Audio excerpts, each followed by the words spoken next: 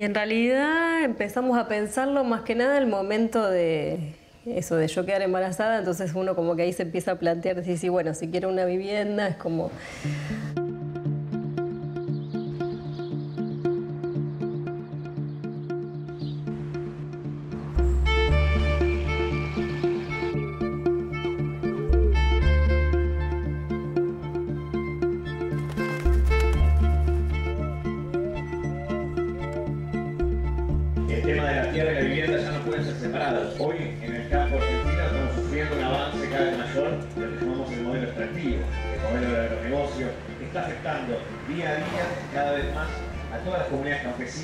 que de una manera u otra van viendo cómo se nos va expulsando. Por un lado tenemos la presión de la migración del campo a la ciudad, pero por otro lado está la presión de crecimiento inmobiliario, donde se construyen casas, edificios, barrios para los ricos, en detrimento de los territorios ocupados por los sectores populares, aquellos que todavía están reclamando el derecho a poder habitar la ciudad.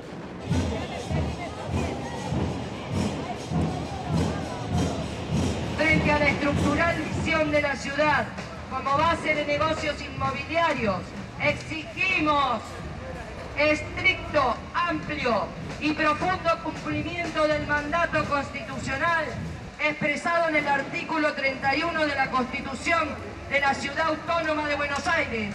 La ciudad es fundamental para los sectores populares eh, para resolver el conjunto de la vida cotidiana. Cuando en los años 80, con la recuperación democrática, empezó el fenómeno de las ocupaciones de edificios, aquellos que vinieron sobre los edificios vacíos, sobre los espacios en áreas centrales, eh, lo que estaban prioritando no era solo el hecho de resolver la vivienda, sino la accesibilidad. La ciudad tiene ese rasgo distintivo que es la centralidad que la centralidad tiene que ver este, no solo con resolver el conjunto de los equipamientos, sino con una cuestión más profunda de, subjetividad, este, de política y de participación en la sociedad.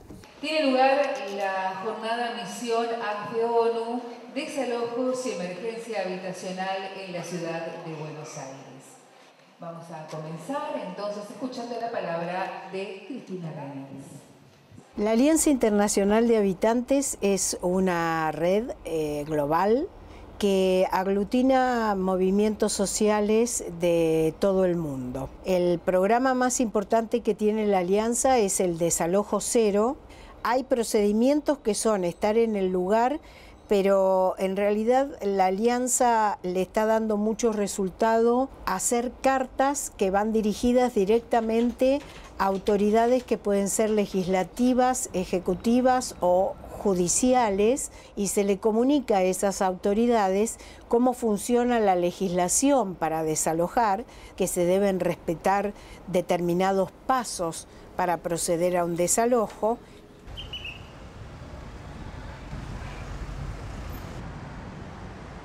Soy una de las víctimas de un desalojo del día lunes a las 2 de la tarde donde ingresaron 20 policías encapuchados con armas largas, reprimiendo a muchas familias, de las cuales 33, 4 familias viviendo en un hotel con muchos niños, eh, gente discapacitada. Y reprimiendo en cinco minutos fue un desalojo y allanamiento por la orden supuesta que nunca nos mostraron. Eh, la legislación internacional eh, dice que hay que tener en cuenta que un desalojo no se puede realizar de noche que no se puede realizar si hay niños durante la época de clases, no puede realizarse sin un aviso previo. El juez debe tratar de encontrar una forma de poder dar una reubicación a las personas que se van a desalojar. Entonces, bueno, estas son las premisas básicas. Claro que hay algunos jueces que las conocen y consideramos que hay otros jueces que no las conocen y por supuesto el desalojo no puede ser violento bajo ningún aspecto. Primero, somos 82 familias que vivían en aquella casa que ven al frente y resultó que hubo un incendio el primero de febrero, a la madrugada. Bueno, a raíz de eso tuvimos que salir Vinieron los bomberos, quedamos fuera, trabaron la puerta y nunca más pudimos volver a entrar. Dijeron que el edificio estaba eh, inhabilitado. Eso por un lado. Por el otro lado, ya nos comenzaron a tratar como si nos hubieran desalojado. ¿Por qué? Porque ese edificio pertenece a ANSES, que es un organismo del Estado que hace mucho, ahí vivimos de finales de 2001, comienzo del 2002. Eh, nos cedieron la casa para vivienda transitoria, porque tenemos dos cooperativas donde estábamos ya tras la vivienda propia. Pero viste, como siempre hay trabas burocráticas. Debido a eso que se trabó, nos quedamos en la calle. Ya llevamos 18 días en la calle.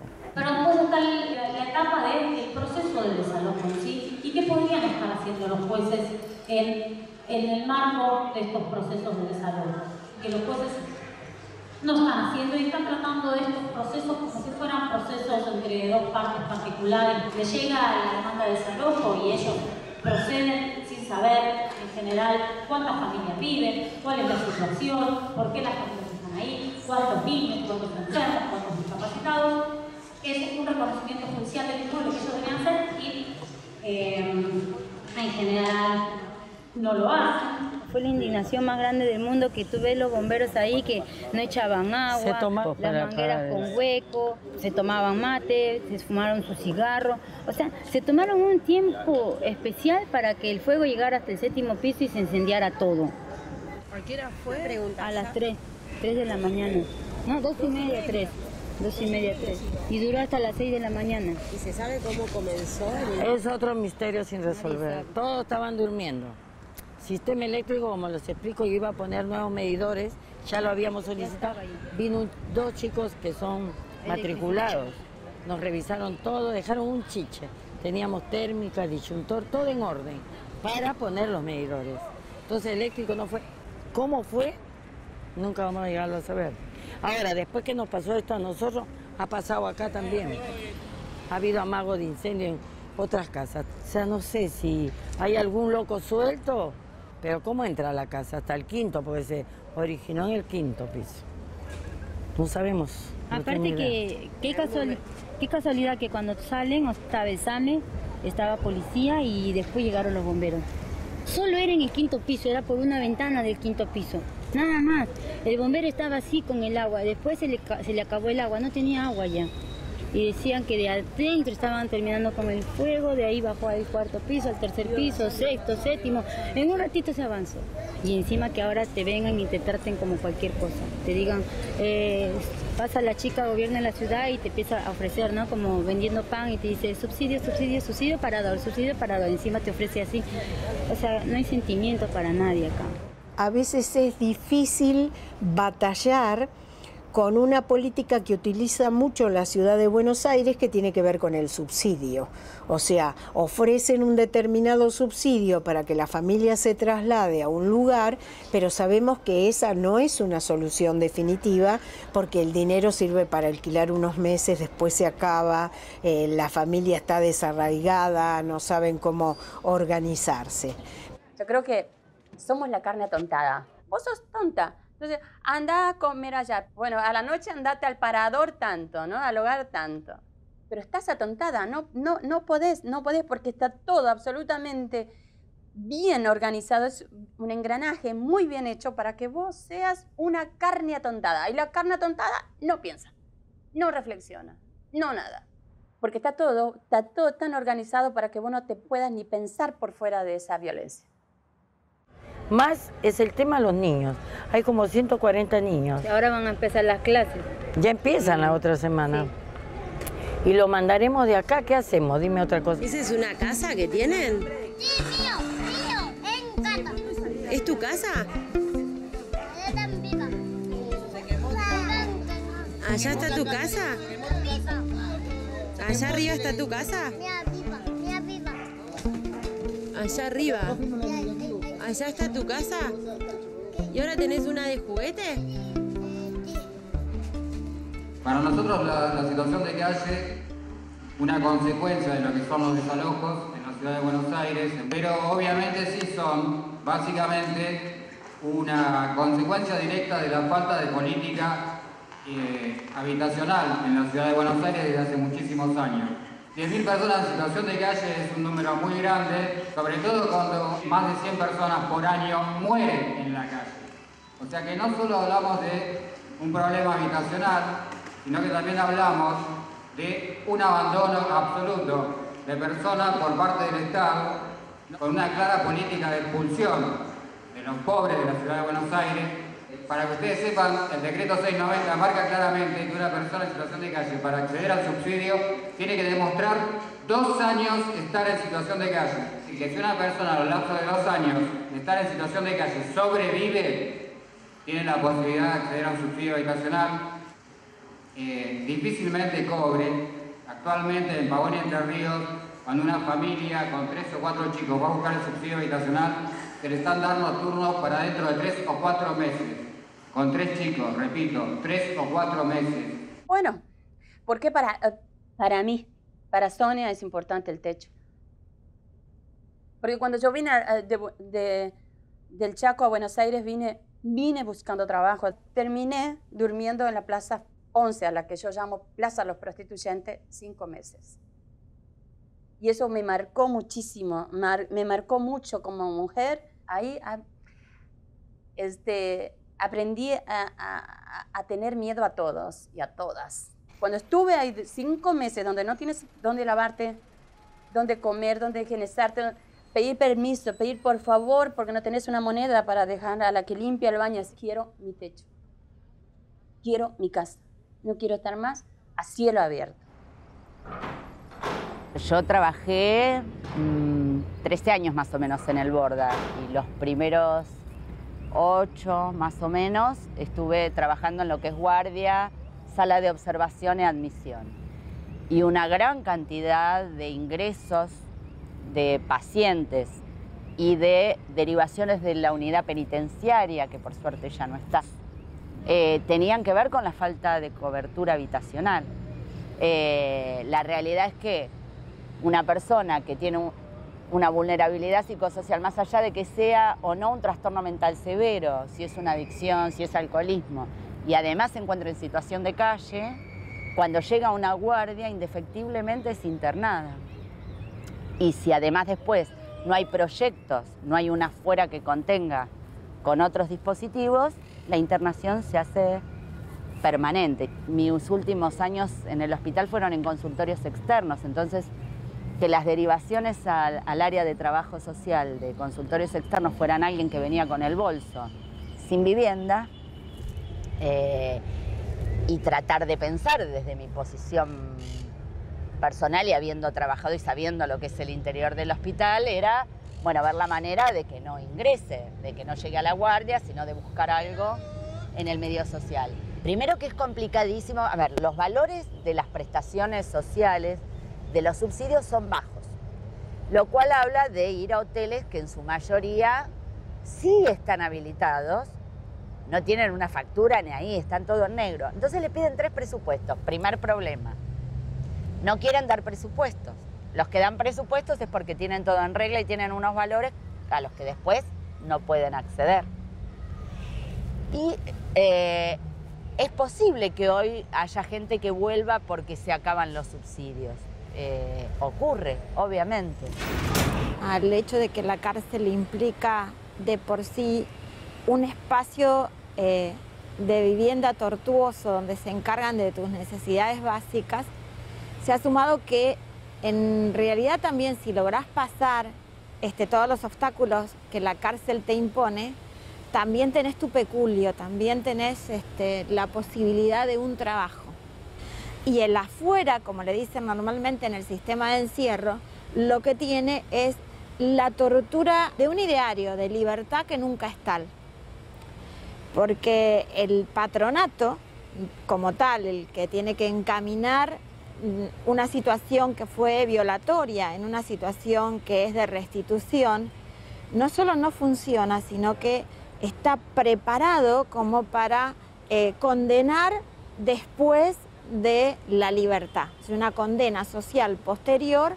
Tienen un prejuicio, una buena parte del personal, este, estableciendo algunas características propias a quien delinque como una persona incapaz, entre comillas, de insertarse, y utilizo la palabra insertarse porque la verdad no es la que utiliza el patronato, la inserción social, que es un concepto como muy embromado, ¿no? Como este, a alguien lo sacas de un espacio y después decís que lo vas a volver a insertar. Es decir, que todo el tiempo estás manipulando la posibilidad de la libertad. Y si aceptamos, que deberíamos al menos aceptar, que los institutos de menores son cárceles, porque están privados de la libertad, en niños la situación es más complicada, sino que tenés también la construcción del vínculo con el adulto, porque la cárcel de niños, como la llamaban la cárcel de menores, construye el vínculo con el mundo adulto, el vínculo, eso que cuando vos estás criando a tu hija, a tu hijo, y le decís, mira, llegás hasta la esquina y me esperas y no cruzas la calle y caminas sola o solo a los cuatro años, a los cinco años y llega hasta la esquina y no cruza la calle. Bueno, en el niño institucionalizado no hay caminar hasta la esquina y no cruzas la calle por tus propios medios porque esperas que un mundo adulto este, te acompañe a construir esa seguridad, ¿no? Este, la seguridad es la del barrote con el horario para el desayuno, el horario para el almuerzo, el horario para la pelea, el horario para el vínculo, el horario para el desvínculo, el horario para que tengas familia, el horario para que no tengas familia y el referente adulto, maestro, educador, celador, no es nada más que un referente carcelario. Entonces el niño construye su referencia social en el marco carcelario y vuelve a su referencia social. Así que sí, la cárcel constituye un espacio este, de techo y necesidades básicas, elementales, satisfechas, pero yo agregaría tortuoso. Es parte de la tortura. Y esa, esa tortura es doblemente vejatoria en niños porque construye el vínculo con los societarios. O sea, los societarios, la norma se construye sobre la base de la cárcel. Y eso es hasta ahora, en la medida que el Estado no se haga cargo de eh, ese síndrome propio que arroja el encierro en niños, en el que asocian su vivienda, hogar a una cárcel, no se ha hecho cargo. Entonces, en la medida que no se haga cargo es irreversible por los niños, por los jóvenes, por el ser humano siempre es reversible porque tenemos vida. En la medida que tenemos vida, todo lo podemos revertir. La vivienda sola no alcanza, hace falta el trabajo. Eso es lo que genera inclusión social plena no es posible mantener la estabilidad si, de ningún tipo, si uno no tiene dónde vivir, dónde dormir, dónde despertarse, dónde...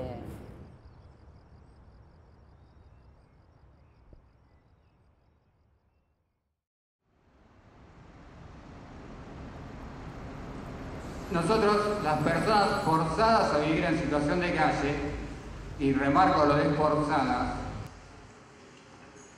estamos absolutamente en contra de la cantidad de dinero que se utiliza anualmente en programas asistencialistas. Estamos absolutamente en contra de los paradores y hogares que tienen una capacidad de albergue para solamente 500 personas. Sumándole lo del CIPAN, tenemos alrededor de 316 más, estamos en un total de 800 y pico de personas sobre una problemática que ellos mismos, en su mentiroso conteo de abril del 2009, dicen que son de 1950 personas.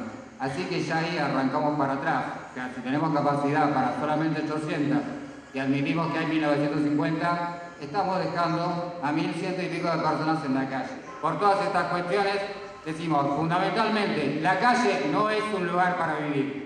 En segundo lugar, lo que decimos es, basta de hombres, mujeres y niños viviendo en la calle. Vivienda digna para todos. Ya, ahora, ahora. Esto es lo que hay para decir. Directo de Gascón que sabe que esto es resistir contra el desalojo y la fuerza de la policía. De todo para todos, que esto es para compartir. Dice así: Supe construir un lugar donde vivir. Así que nadie me va a convencer de que me me voy a ir, esta es mi casa. Vení, pasa, miremos desde la terraza. Hay un lugar entre las torres modernas de concreto. Que nadie quede afuera, debería ser un decreto. Le saco la careta a este gobierno y su secreto. No quiero más. Buenos Aires eh, sí que la ciudad de Buenos Aires es como el primer mundo a, comparación del interior, entonces tienes que estar aquí donde aunque sea vas a revolver la basura y vas a comer de él. Nunca me sentí libre, sino como mucho más atada a los miedos, a los prejuicios, a, la, omisión de mucha gente.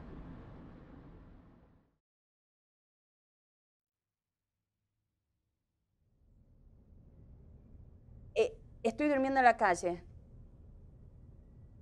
porque nunca dije viviendo, porque era tal el terror, fíjate vos, que vivir en la calle me paralizaba. Entonces yo decía durmiendo nada más. Era una forma de autoprotección. Además de naturalizado, además de naturalizado viene el, el otro sello que es más fuerte, banalizar. Eh, va, lo siento yo así. Esta cotidianidad, este, banal, lo han banalizado desde la fábrica de putas, que es, el, que, es, eh, que es los medios masivos de comunicación, de hecho la televisión, por eso están los reality. Tenemos que ver cómo cogen, cómo, se, eh, cómo comen, cómo se levantan.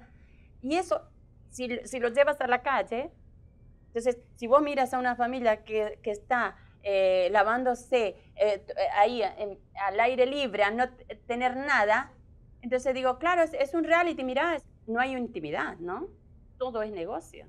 ¿Cómo haces para no ver, ¿no? Si pones en cuestión tu fragilidad y la pones ahí sobre la mesa y dice, bueno, bueno, a ver, voy a poner mi fragilidad toda, voy a ser yo frágil para que me toque y mirarte a vos como persona. ¿Cómo sostenemos y, y y ayudamos a, a, a, expandir la guionización de la tortura, ¿no? Si vos me hablas de indigente, ¿qué es indigente? Estás hablando de una persona súper pobre que revuelve la basura para comer, que duerme a cielo abierto. ¿Hablas de eso cuando hablas de indigente? ¿O estás tapando todo eso? Indigente, palabra correcta y suavizante y maquilladora, porque esta guionización de la tortura en, el fondo lo que hace es banalizar toda esta problemática. Entonces, el indigente no es el que no, no, no, no estoy hablando del que no tiene techo, yo no sé, me puedo imaginar, si es que tengo ganas de, de trabajar mi imaginación, de cómo cuando vos entras a estas cosas desapareces, desapareces del imaginario colectivo, pero producís para sostener todo esto. Ocho personas en hacinamiento total, compartiendo el baño, compartiendo la cocina, con carencias edilicias notables que provocaron la muerte y accidentes de muchos de nuestros compañeros, que destruyeron muchas familias. Ya habíamos dejado de ser un negocio con el decreto 895, donde a cada familia en el 2001 se nos daba 1.800 pesos para desalojar nuestras habitaciones paupérrimas. Después vino el decreto 1234, que nos daba 15.000 a 25 mil pesos a cada familia. El Frente de Hoteles se negó a la firma de ese decreto, pero los que lo aceptaron, esa suma les impidió comprar una vivienda. Terminaron alquilando y terminaron enriqueciendo más a uno, a uno al hotelero, porque antes al hotelero que le pagaba el Estado, ahora le pagábamos nosotros con la plata del subsidio. Una vez que se terminó esa plata del subsidio, el hotelero les echó a la calle y fueron a volver a pedir el subsidio al Estado es obviamente que una casa o un departamento jamás van a poder alquilar porque todos carecemos de garantía, de anticipo y de todo requisito que se pide para alquilar. Por lo tanto, esas personas terminan otra vez, una vez más, enriqueciendo el bolsillo de la mafia hotelera. En la cárcel vos tienes un horario para dormir, tienes un horario para despertarte, tienes un horario para, para utilizar la cocina, eh, tienes un horario para poner fuerte la música, tienes un horario para hacer ruido, tienes un horario para recibir visitas, tienes un horario para hablar por teléfono y un horario para que suene ese teléfono nada más. Entonces a mí eh, eh, esa forma de control que hay en los hoteles eh, también lo, lo llevaba a la, a, la, a la, cárcel de contraventores, digo, y es como esa, esa, ese control, esa dominación sobre tu cuerpo, sobre tu vida, sobre la forma de vivir, aún pagando y los hoteles son caros. Es más caro que el alquiler de, una, de un departamento. Y no eres libre, no eres libre de nada, de nada. Actualmente en la ciudad de Buenos Aires hay 180.000 viviendas vacías y el problema de la ciudad es de aproximadamente 100.000 familias que no tienen vivienda. Si el gobierno pondría en alquiler o, o, otorgaría políticas para que esas casas vacías se dieran en vivienda, todavía el señor Mauricio le quedarían 80.000 viviendas para seguir lucrando y con eso solucionaría el problema de todas las familias que no tenemos vivienda.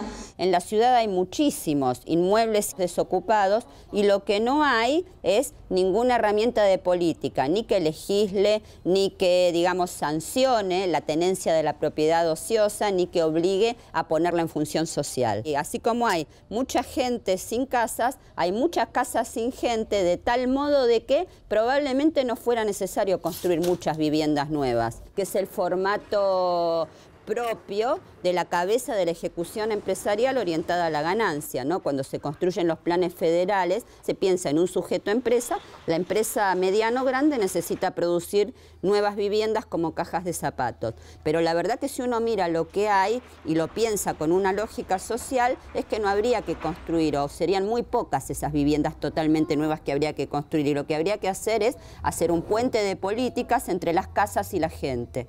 Hay un principal objetivo que tenemos el Frente de Hoteles junto con otras organizaciones, la constitución de la vivienda digna. Y esto fue objeto de debate de muchos jueces, donde dicen que vivienda digna no es igual a vivienda definitiva. Y nosotros decimos, vivienda digna es igual a vivienda definitiva, porque un ser humano necesita una vivienda desde que nace hasta, hasta que muere. Por lo tanto, la pelea es que vivienda digna es igual a vivienda definitiva.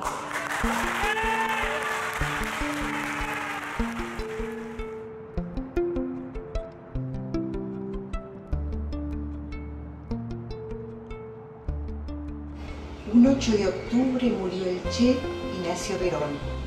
Y un 8 del 86, buscando casa propia, aterricé aquí un día.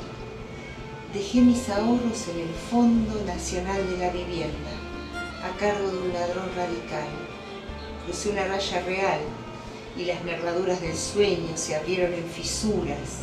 Oscura, dura la palabra, llena de vocales cerradas, usurpa, ocupa. No sabía que venir requería sí o sí paracaídas. Colchón me traje, y marido, y me estrellé lo mismo. Y se abrió el juego salvador de las visitas. La abogada comunista, el funcionario correcto, el chino, la gorda peronista, el perito fotógrafo, todos macanudos, una larga lista traidora y así ponga aquí su firma, llene el censo, pague la cuota, póngase contento, traiga a la gente, vaya a la marcha. Nos vendieron un buzón, pero aquí se pierden las cartas, o las rompen porque sí, total nadie espera nada. Se hace tan difícil llegar a destino, saber si se trata de nacer o morir al fin. Será por eso que a veces no digo, en Giribones donde vivo. Te cuento cómo llegamos acá. Yo alquilaba en Villa Porredón y habíamos ido al FONAVI, nos habíamos anotado al FONAVI, era el Fondo Nacional de la Vivienda en ese momento. Y en un momento, en los pasillos del FONAVI, alguien dijo que había un edificio en Chacarita que había quedado expropiado porque durante la dictadura por acá iba a pasar la, autopista y había quedado solo el esqueleto y las paredes de ladrillo nada más y que si hacíamos una cooperativa de vivienda, eh, después se nos adjudicaba, pero que había que venir a un proyecto de trabajo, digamos. Y eso era en el 84 más o menos, y había como un, un espíritu, vino junto con la democracia, eso, ahí pegado, y un espíritu de que esto iba a ser nuestro, así que eh, cada uno trabajaba dentro de los departamentos y afuera había comisión, eh, hacíamos los pasillos, se pusieron los tanques de agua, la electricidad, no había nada de nada. Y con esta idea de que rápidamente se iba a cumplir con, con esta palabra de que se iba a adjudicar los departamentos. La idea era que tenía que estar más o menos terminado para que se adjudique. Y cuando empezó a tener cierto color, empezaron eh, a eh, problemas, presiones de tipo inmobiliario, porque este terreno vale mucho dinero. Nuestra tendencia está ligada bueno, a los movimientos cristianos de base, que intentan recuperar de algún modo la, una tradición histórica muy antigua que tuvieron las primeras comunidades cristianas. Con nuestras contradicciones y con todo lo que tiene que ver con la lógica opresora de la institución en la que estamos, hemos empezado a acompañar eh, las luchas populares y así han surgido dos experiencias concretas en el sur de la ciudad, en Constitución, y en el conurbano bonaerense, Florencio Varela. Empezaron a organizar estas casas, las empezamos a acompañar, a organizar para resistir estos desalojos. Yo he participado del movimiento Ocupa en, en, Barcelona. O sea, igual no fue algo que yo llegué a la ciudad y dije, ay, voy a ocupar, ¿no? O sea, yo llegué, estaba, estaba estudiando y me encontré de, frente con, el problema habitacional que es universal, supongo. O sea, conocí a un par de personas y nos tiramos eh, a alquilar en un sitio donde pagábamos muchísima plata y al año siguiente me, me animé a ocupar con, con gente con la que yo vivía y otra gente. Y ocupamos una casa que llevaba vacía como 50 años. O sea, y que nunca al propietario se le había ocurrido pensar en esa casa. O sea, de repente vos entrás y es como que le entra el, ataque y la quiere para, a lo mejor para nada. Y el movimiento de ocupación en Barcelona lleva muchísimos, muchísimos, muchísimos años. ¿Qué pasa? Que muchas veces eso no se visibiliza porque uno les produce muchísima vergüenza, porque sienten que están haciendo algo malo. Una de las lógicas con las que hubo que trabajar mucho es con la lógica esta del merecimiento. Existía en mucha gente la idea, ¿no? De, bueno, la vivienda se merece, ¿no? La vivienda no se merece, la vivienda se toma, se conquista. La vivienda es parte de nuestro ser. Nos preguntamos, por ejemplo, bueno, ¿con qué derecho el Estado niega sistemáticamente eh, bueno, un derecho precisamente consagrado en la Constitución? Otra pregunta que nos hacemos es si la vida se merece. Y bueno, la respuesta más vale que es no. La vida no se merece. La vida irrumpe, reclama, se honra, aparece, se reproduce, se conquista, pero no se merece. Entonces, si la vida no se merece, todo lo que está asociado a la vida no se merece. La vivienda, la salud, la educación, el trabajo. Cuando uno socializa, uno se da cuenta que lo ocupa no tiene cuernos, no tiene rabo y que es una persona como vos y que tiene los mismos problemas que vos y intenta darle una solución, ¿no? Igual en esta ciudad no me siento en confianza como para ocupar. Siento que me pueden pasar muchas cosas, ¿no? Que hay mucha violencia. La lógica del merecimiento se derrota construyendo otra teología.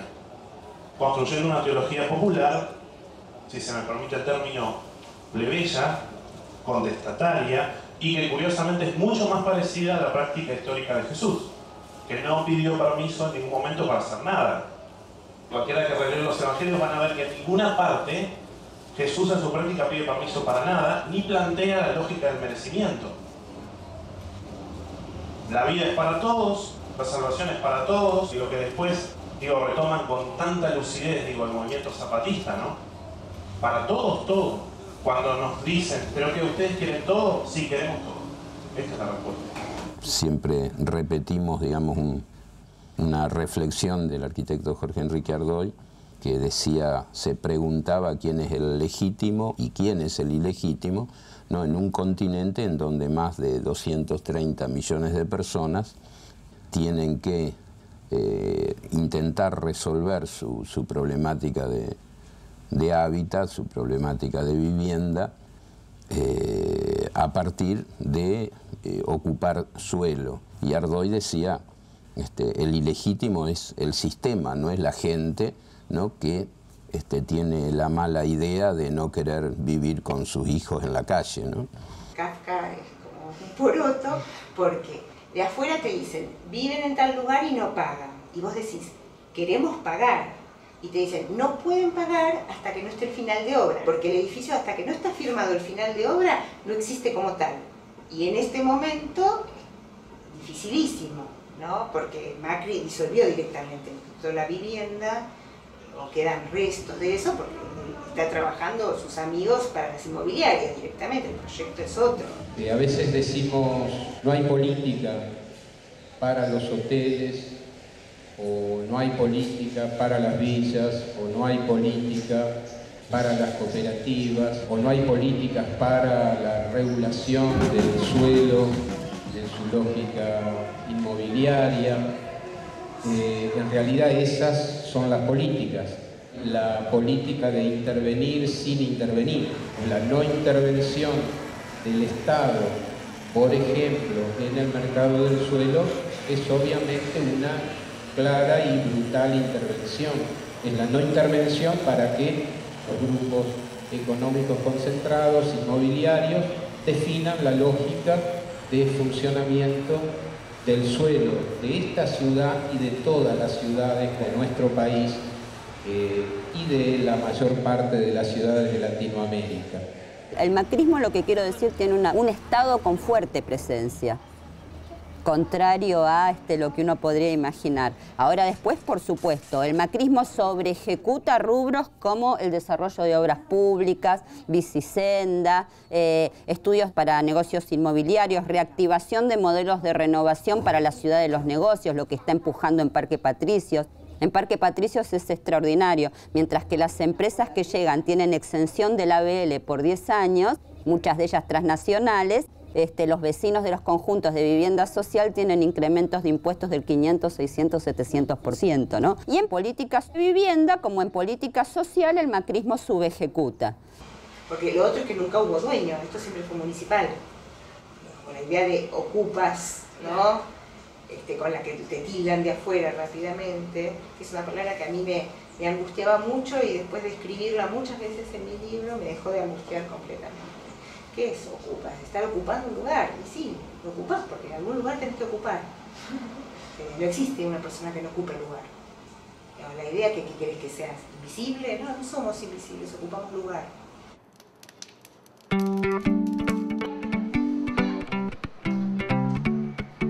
Cuando la gente viene al MOI es común que, que pregunte, acá dan vivienda, ¿dónde me anoto?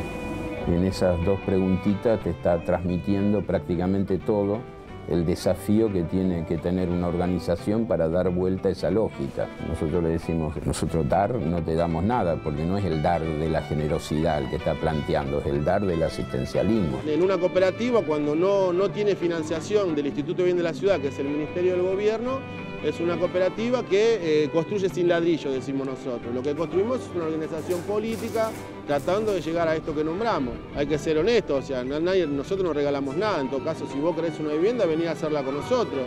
Es el sentido de la ayuda mutua, queda barata. La mano de obra peón, nosotros consideramos que en vez de pagarle a un peón, le lo hacemos nosotros. El MOI se conforma en el marco de la pelea por ganar los edificios ocupados ganar el derecho a la ciudad, materializar el derecho a la ciudad. Donde decidimos conformar la organización fue en el ex Padelay, ¿no es cierto? La decisión y, la intencionalidad y, la pelea en la organización es por el desarrollo de la autogestión. Es antagónica la cultura autogestionaria a la cultura asistencial. La cultura asistencial es una cultura de Estado. En cambio, autogestión es pelear los recursos del Estado. No hay autogestión sin recursos del Estado. También la ayuda mutua, una de las cosas que tiene, los lazos solidarios que se hacen. El esfuerzo colectivo te cohesiona como para que vos puedas, digamos. Por eso nosotros abrazamos la propiedad colectiva. Es un paraguas mucho más amplio que da una cierta seguridad de tenencia contra lo otro que es la propiedad privada. Si un socio se cae, digamos, están los otros para apuntalarlo nosotros fuéramos propiedad privada, cada uno tuviera su escritura a su nombre, es la forma más fácil de que te caguen. Porque no pudiste pagar una cuota, te ejecutaron el departamento. O no pudiste pagar las expensas y te, ejecutaron el departamento, digamos. Si así seas propietario, digamos. Entonces, bueno, ni hablar si alquilás toda esta cuestión de que uno une vida con ideología, los ideales que tenías, decís, bueno, es así, es una construcción colectiva, con las épocas donde, donde todo se normaliza y vas hacia un lugar, todo el mundo se pone en funcionamiento, todo se pone en funcionamiento. Y después las épocas en donde nos quebrábamos y aparecían, por ejemplo, venían eh, asistentes sociales que mandaba la municipalidad y te decían, te pedían todos los datos de la familia, te decían, porque esto ya se termina, entonces necesitamos los datos para adjudicarles, y 15 días después con esos datos llegaban las cédulas de desalojo. Entonces, esas cosas te matan. Primero porque vos decís, son pibas que estudiaron, o sea, humanidades, asistentes sociales, te hablan así, yo qué sé, con el corazón, te sacan los datos y después ellas saben para qué las están usando. Eh, eh, hubo momentos así como de desamparo absoluto. Que las cooperativas es un pedazo de suelo robado al mercado. Este aniversario encuentra la cooperativa, por un lado, a punto de terminar esta primera etapa, y es claro que es una primera etapa, las primeras hermosas 21 viviendas construidas por ustedes.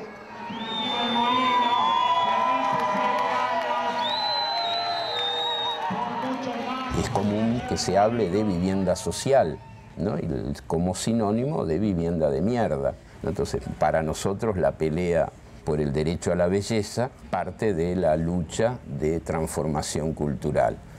Por otras cuestiones, pero también por Giribone, mi pareja se desgastó. Para él, volver a ser feliz era salir de Giribone. Como que no somos felices porque nos equivocamos entrando a Giribone, ¿no? Y, para mí también es un rasgo burgués, absolutamente. No, no quiere decir que no hay momentos de tensión. A ver, ¿te imaginas cómo te puedes sentir cuando te vienen a desalojar? ¿Te imaginas cómo te sentís cuando te dicen que se te terminó el contrato de alquiler y no juntaste las tres lucas que necesitas para volver? Y aparte yo decía, todo lo que pusimos acá y quería volver a alquilar.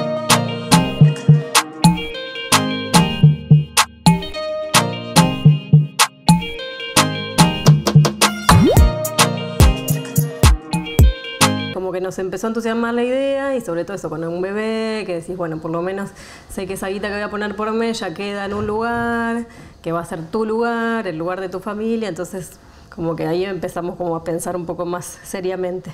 En un primer momento era medio impensable, este, pero dijimos, bueno, miremos igual. Teníamos algo con, con lo cual partir, este, íbamos a las distintas sucursales del mismo banco y nos daban distinta información, así que era como que veníamos con una data segura y después era, no, pero a mí me dijeron otra cosa, era como un mareo terrible. Después empezamos eso, ya a ver lugares concretos y vimos uno que nos, que nos gustó. Entonces, bueno, ya fuimos directamente con esa propuesta al banco. Y nos dicen, bueno, aparte de todos los papeles que tienen que traer, tienen que traer como una intención de venta del, tipo que les quiera vender. Cuando vamos a pedirle eso al que nos quería vender, dice, no porque yo no quiero quedar sujeto a un crédito. Y eso fue lo que más costó, digamos, hasta que pudimos negociar con, con el dueño del departamento que nos extendiera los tiempos de, de todo lo que es firmar un boleto, una escritura, este, como para acomodarnos a los tiempos del banco, porque es eso, es como que el dueño tiene un tiempo y el banco tiene otro tiempo, y vos tenés que estar ahí en el medio como también arreglando entre los dos, las dos instancias. Bueno, y ahora, digo, 25 años después, eh, yo algo pude ir ahorrando, pero sobre todo yo lo fui ayudando a mi papá y a mi mamá que tenían, cobraban una jubilación mínima y tenían un juicio de jubilación que duró 15 años y que por fin lo cobraron. Y entonces me devolvieron y me ayudaron a comprarme mi vivienda, que esto sucedió este año. Y entonces yo salí de Giribone. En Roque. En Roque y Marina dejó de alquilar. Yo en esta casa soy mucho más feliz que donde yo vivía antes. Y yo la última casa que tuve, me jugué todo, me fui a otro barrio más alejado, me alquilé en PH con terraza, donde yo pensé que la vida iba a ser maravillosa. Y fue un... Nada, no sé si tuve muy mala suerte, al más allá del pago del alquiler de todos los meses, que era súper alto y todo. Y, y fue como extraño, porque yo decía, ay, volver otra vez a Giribones, yo como que me había despegado un poco de esto de las escaleras, de los pibes en pata, de giribones. Eh, y yo pensaba, bueno, ahora voy a llegar y, que la cumbia, y que los pibes, y que qué sé yo. La gente acá es doblemente educada, este, en el lugar donde yo vivía hay como silencio, cuando los pibes están jugando, están jugando. Este, se respira como otro aire de comunidad a mí me pasó que yo me fui acá, pues me costó un montón de irme. Eh, y toda la alegría de que tengo mi casa y es hermosa y vivo cerca de mis papás, lo cual me da una alegría enorme. Y resolví eso, pero al principio eh, sentía, mi identidad está puesta acá. Yo me construí acá, para mí fue eso, me deshizo la cabeza y me la hizo otra vez. O sea, ¿qué cosas tengo yo antes distintas a que no tenía acá? Por ejemplo, pedí un delivery acá, es, es una historia, Eh, porque entonces, bueno, pero vos bajás y me dices, porque tengo miedo, porque no sé qué. O por ejemplo, supermercado. Médico a domicilio. Médico a domicilio, estás enfermo. Ah, no, te llaman desde la puerta del médico. Yo no subo, te dicen. Y cuando se afloja y te empieza a contar, también no tiene resuelto el tema del dinero. Pero hay un lugar de poder jodido, en ese momento que él tiene el poder de subir o no subir con las bolsas, a revisar y todo, que te dicen, ah, no, y, vos estás a veces con fiebre, a mí me ha pasado y digo, llamo o no llamo al médico, no, si no me estoy muriendo, no llamo al médico. Porque, aparte, ¿por qué tengo que dar explicaciones estando con fiebre? Como obli- ahí, hay un plus que funciona, que tiene que ver con el imaginario, fuertemente con el imaginario. El proceso de renovación en Ciudad de Buenos Aires tiene que ver en parte con un proceso global que es este, la reestructuración de lo que muchos llaman las ciudades neoliberales, que es utilizar a las ciudades como mecanismo de acumulación haciendo un juego con el capital financiero, ¿no? Entonces ese boom de las hipotecas que nosotros vimos en ciudades españolas o en las ciudades norteamericanas y que tiene que ver con el desarrollo del capitalismo financiero, también se empieza a manifestar en nuestra América, no solo en Buenos Aires, sino en ciudades como Río de Janeiro, como Bogotá, como México, pero en la Argentina uno encuentra eh, señales incipientes ya en la época de la dictadura, ¿no? cuando se sanciona una política de, preservación, por ejemplo, o se desarrollan las medidas como la erradicación forzosa de más de 300.000 personas de villas, de áreas centrales en dos años, son medidas que van preparando la ciudad para otros sectores sociales. Pero después en los 90, en pleno menemismo, hay rasgos que se acentúan, ¿no? Pero eh, a esa acción este, hay reacción, que es la organización popular.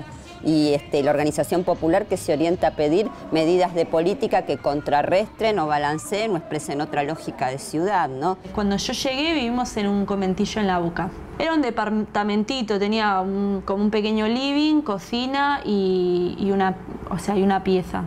Mm. Y el baño estaba abajo compartido. Entonces en los 90 uno reconoce una oleada y después de la crisis del 2001-2003 con esa reactivación este, fenomenal, sí, el incremento de los precios del suelo se dispara en la ciudad de Buenos Aires del 2003 en adelante, más de, este, más de 15 veces aumenta el valor del, este, del metro cuadrado. Entonces, dado el grueso de las políticas de los gobiernos locales, pero acompañadas por medidas nacionales, es coincidir en impulsar la mercantilización creciente del suelo. Y eso es lo que desde el Estado alientan para y permite el desarrollo de la especulación inmobiliaria, ¿no? En España, en hablo del Estado español, se veía en una burbuja y en un estado bienestar que ahí, como dicen, se ataban perros con longanizas. Y todo el mundo era, o sea, consumir, consumir, consumir. La gente consumía aún no teniendo plata. Te comprabas una casa sin tener plata y tenías una hipoteca. Entonces eso todo es una afición que se acaba desmoronando, ¿no? Entonces ahora pasa eso.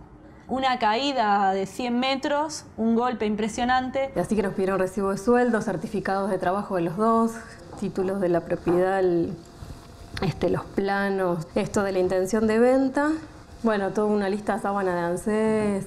Este, digamos, son cuestiones que uno las, las- puede llegar a reunir, pero bueno, es, también todo un, todo un tema. Y va llevando y capaz que no te sirve, entonces tenés que volver a llevar de nuevo. Yo un día fui, eso, a la- como la cuarta vez, y yendo a sucursales distintas, yo le preguntaba, bueno, decime cuánto va a ser todo en realidad, o sea, con todas las comisiones, con todos los gastos de, escribanía, con...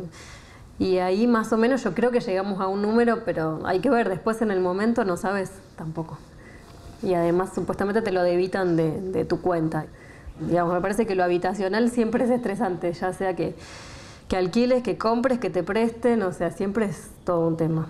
Eh, hay como una naturalización de la gente que tiene casa que es como... Y yo les preguntaba a mis compañeros, por ejemplo, de la facultad, que me decían, bueno, pero qué raro, ¿cómo vos vivís ahí? Eh, Todas progres, todo bien. Entonces yo les decía, bueno, ¿y vos, eh, ¿dónde vivís? Bueno, un departamento en Flores. ¿Cómo lo compraste? No, me lo regaló mi papá, me casé. O bueno, entre mi suegra y no sé qué, y después heredé. Y, la gente tiende a borrar el origen de los que tienen casa, como cuestionan a los que no la tienen como, como qué raro que no la tenés y se olvidan de que no, es que compraron la casa con el sudor ni el con el sudor suplente, cosa que es imposible, por ejemplo, para los docentes, quizás docentes de otra época sí podían, pero post dictadura o desde los 70 en adelante se hizo dificilísimo. Y el tema del alquiler, una vez que entraste no salís porque no tenés capacidad de ahorro, se te fue todo en ese lugar, ¿no? Es más sabido y más conocido el alza de precios en el mercado regulado formal, que para los sectores medios está insumiendo por ahí el 50-60% de los ingresos familiares. Así que esa es una situación que hay que considerarla dentro del déficit estructural.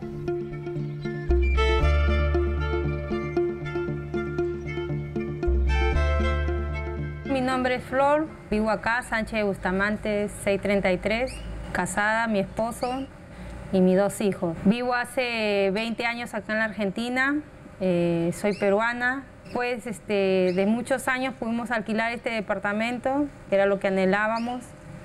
Eh, siempre hemos vivido en habitaciones. Hola, soy Marina, vivo en Boedo, alquilo hace casi un año acá.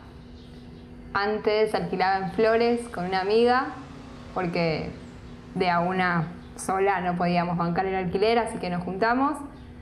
Y ahora vivo con mi compañero en esta casa que tiene tres ambientes y pagamos 2.500 pesos y 700 pesos de expensas, segundo piso por escaleras. Siempre que pensamos en alquilar, la sensación que da es que esta no es tu casa y entonces lo que uno puede apropiarse del espacio es bastante poco. Como no teníamos un garante, puesto que somos extranjeros, es muy difícil tener un garante. El señor nos ofreció que podíamos hacer un depósito de dinero eh, como una garantía y en el contrato eh, él este, especificaba que ese dinero se nos iba a integrar eh, todo, todo, así como lo entregábamos, nos lo devolvíamos. Y bueno, así que hicimos eso, juntamos el dinero, eh, nos hicieron el contrato de alquiler por dos años y estuvimos acá. Después nuevamente renovamos y así sucesivamente. Ahora tenemos siete años. Empezamos pagando un monto de 450 pesos y de acuerdo a la renovación del contrato hoy en día pagamos 1.500.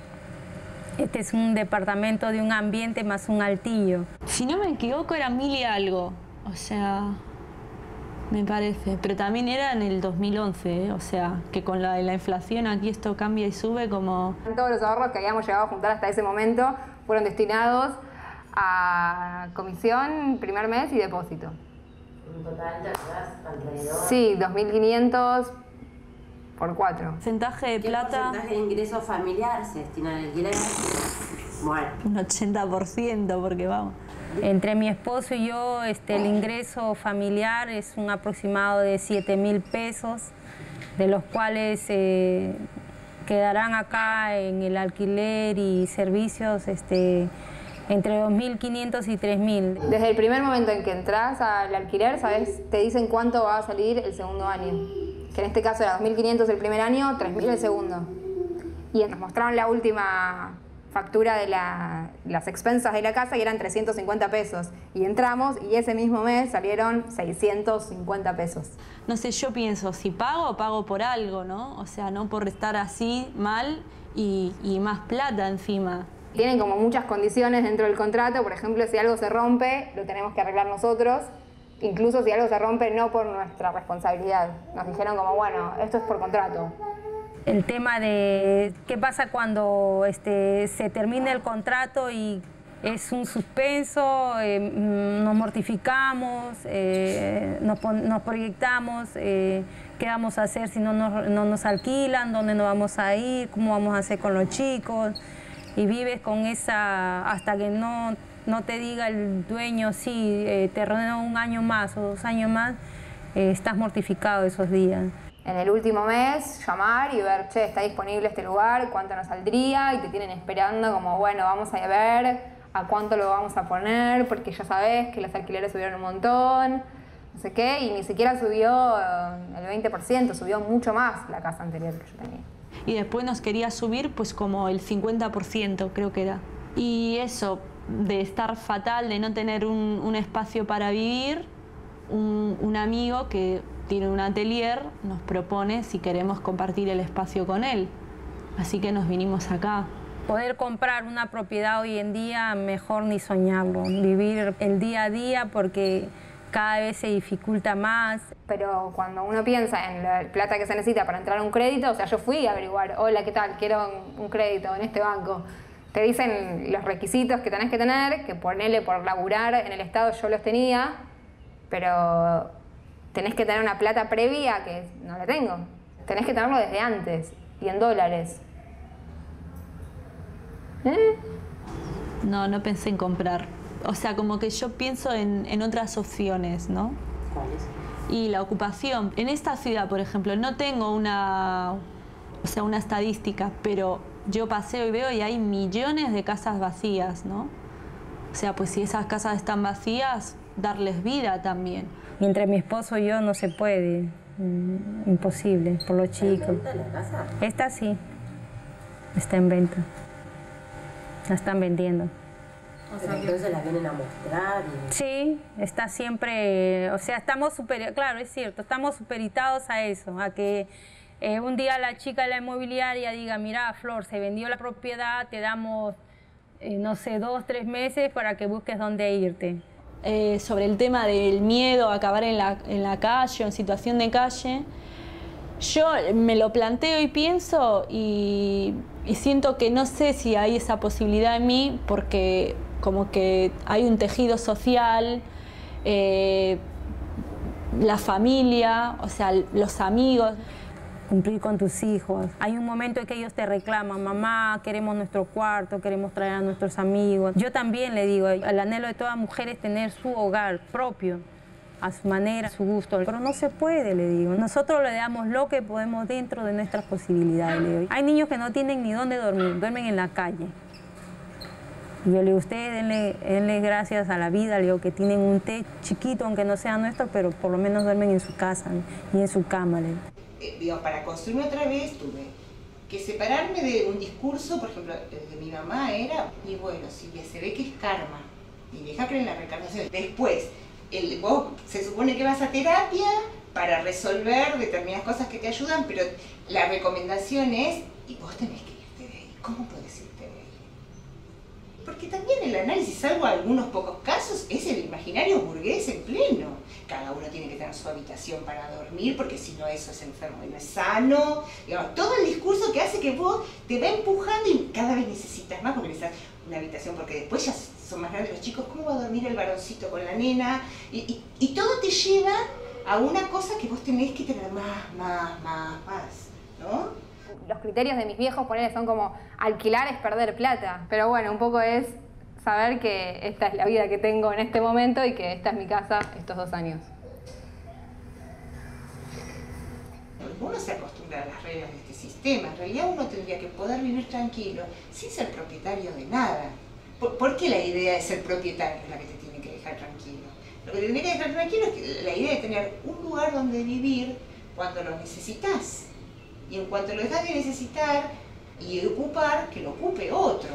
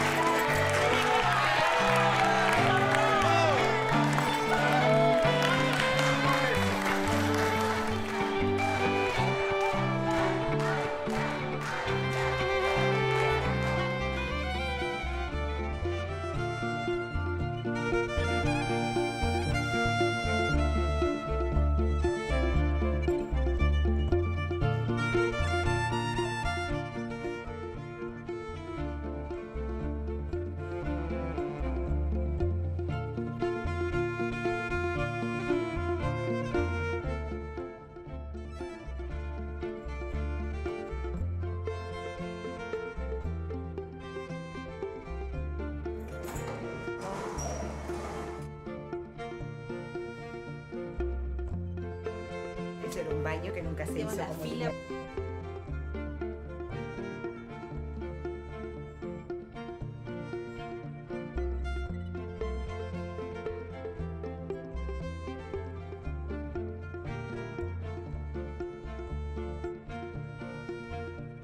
Lo- Los procesos de construcción cooperativa son procesos de, de construcción de humanidad, ¿no? de reconstrucción del ser humano, de revalorización, de reconocerse ¿no? y de re- de valorarse. Decir, puta, yo soy parte y puedo hacer esto, puedo hacer lo otro, puedo reconstruirme. Lo que siento yo es que tengo como un plus de experiencia. Fue un camino duro, con miles de oportunidades de quebrarme mal. Lo que pasa es que ahora ya, ya lo recorrí y te lo. Quizás si hace 15 años me lo preguntabas, me encontrabas uno de esos días que estaba desesperada. Y, y mi sensación, yo ahora que lo pienso, era, de acá a mí me sacan muerta. O sea, la sensación era, esto es mío porque yo lo construí. E- ese es mi sentido de propiedad. Eh, y nada, y cambié de clase. Esto a mí me obligó a salir, un saque me sacó, y yo eh, ahora lo considero un plus absoluto. Aún estando en la calle, yo seguía pensando cómo salir de ese lugar, porque yo aún estando en la calle yo sentía que estaba encerrada. Yo siempre pensé en huir y yo creo que sigo huyendo.